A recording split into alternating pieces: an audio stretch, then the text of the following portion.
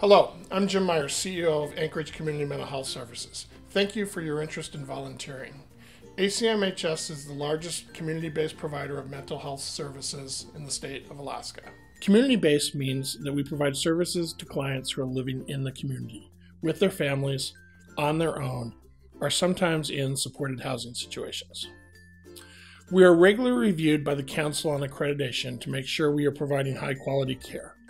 One of the requirements is making sure that all of our employees and volunteers are tra- properly trained. So, thank you for taking the time to watch this short training video. We believe that recovery is possible for all those who are living with mental illness. Recovery may look different for different people, but with supports, everyone can improve their health and wellness and strive to reach their personal full potential. It all comes down to this we want to do good work with integrity to help our clients and improve their lives. Mental illness can affect anyone, and our client demographics generally reflect those of the state. We serve clients of all ages, and our programs in Anchorage generally fall into three age ranges. Child and Family Services includes the Little Tikes Therapeutic Preschool, the Child Trauma Center at ACMHS, Child and Family Clinic Services, and Parenting with Love and Limits, a structured family support program. Transition age youth, clients age 13 to 23, may be served through the Child and Family Clinic or through two programs designed for that age range Alaska Youth Advocates and Alaska Seeds of Change. Adult services include regular outpatient clinic services, as well as more intensive services for clients who may need that to maintain stability. There are also vocational services that help clients to find meaningful employment. Through Fairbanks Community Mental Health Services, we offer many of the same services to children and adults without some of the specialized programs like Little Tikes and Alaska Seeds of Change.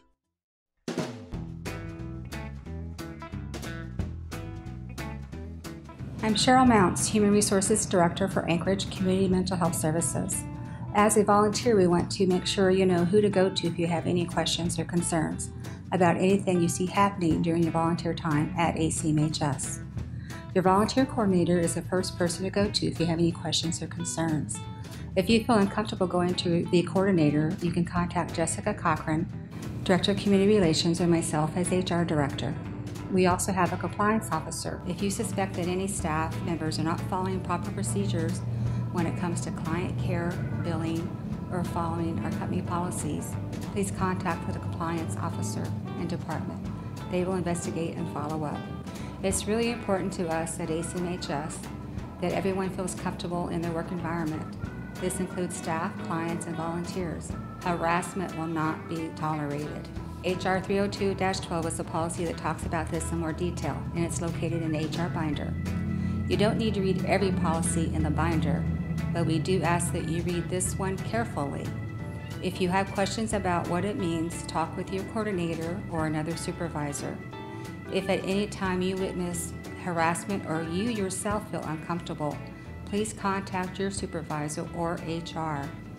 At some locations, like Alaska Seeds of Change, we are working with young adults who are just learning what it means to act appropriately in a work setting. There will be ongoing discussions and training at Seeds with our youth staff and apprentices concerning harassment. Volunteers are welcome to attend these trainings. If you see behavior you feel is inappropriate, please bring it to the attention of your volunteer coordinator or supervisor immediately. Volunteering at ACMHS should be fun, and we encourage joking around and laughing. But to make sure it's fun for everyone, volunteers and staff are expected to conduct themselves professionally and to be courteous and respectful to one another. A couple of other things. ACMHS facilities are drug and alcohol free. Please do not bring these substances into our office or come to our offices under the influence of drugs or alcohol. We also do not allow weapons in our facilities. If you do carry a, a pocket knife, ensure it is closed and in your pocket or bag while in our facilities. Again, if you have any concerns about your time at ACMHS, please contact me. Thank you.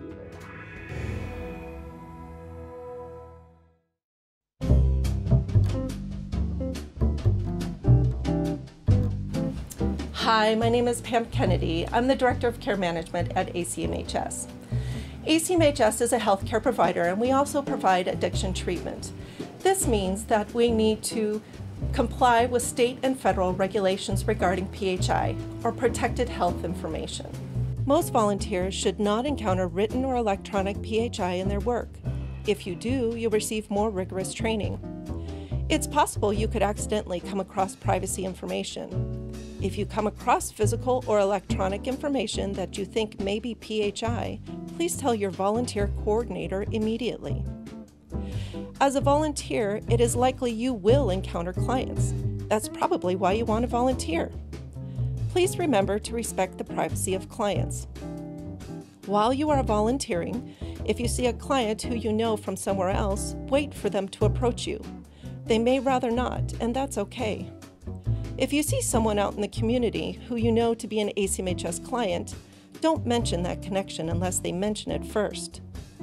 Don't take any photos of ACMHS clients while volunteering, and don't share any information you learn about clients outside of the company. Please be especially careful when it comes to social media. If you have any questions, don't hesitate to get in touch with me. Hi, I'm Jessica Cochran, Director of Community Relations and Communications. We're so glad you're part of our community and so glad you're taking the time to volunteer with us. We do want to spread the word about the good work we do and the great work that you're doing by volunteering. Feel free to share that you're volunteering with friends and online. Just be sure not to refer to individual clients or their stories. We can share stories about clients if we get specific client permission. When you see stories about our clients on our website, in our newsletter, or somewhere else, we've made sure to get this permission ahead of time. There is a policy on media that can be found at the front of the HR Welcome Book located at each facility. Be sure to have your volunteer coordinator show it to you on your walkthrough, and please read it carefully. If you have any questions, please call, text, or email me anytime.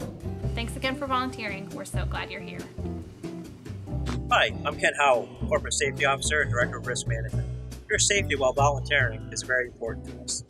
Although not exclusive, a lot of accidents are a result of slips, trips, and falls, so please watch your feet. And should you observe any kind of hazards or unsafe conditions, please notify your safety coordinator or volunteer coordinator. In the case of an emergency, please follow the directions of ACMHS staff. If you see a situation that would cause you to call 911 in your own home, go ahead and call 911. Then look for your volunteer coordinator for further directions. In a life threatening situation, which is most unlikely, such as an active shooter scenario, remember the basics as outlined by the Department of Homeland Security run, hide, and as a last resort, fight back. And when it is safe to do so, alert others as to what is happening. Thank you for taking the time to watch this video and for being a volunteer. Your contribution helps us improve lives in our community. Thank you.